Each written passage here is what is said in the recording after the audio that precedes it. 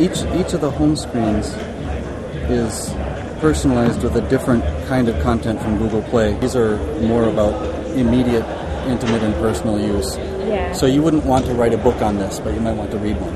It's quite amazing product. It's very solid built. Uh, it's fast. It's uh, you know all the Google apps work perfectly on that, and the new browser is very important for developers. Well, uh, what I thought was really cool is the magazine, the way you can look at the magazines on new tablet, because that was a big complaint with a lot of people trying to read magazines on the iPad or the Kindle. Um, it was just really hard, and the font changes all over the all over the page and everything was just kind of complicated. So, being able to you know double click and see it as you would reading a book, I think that's really innovative.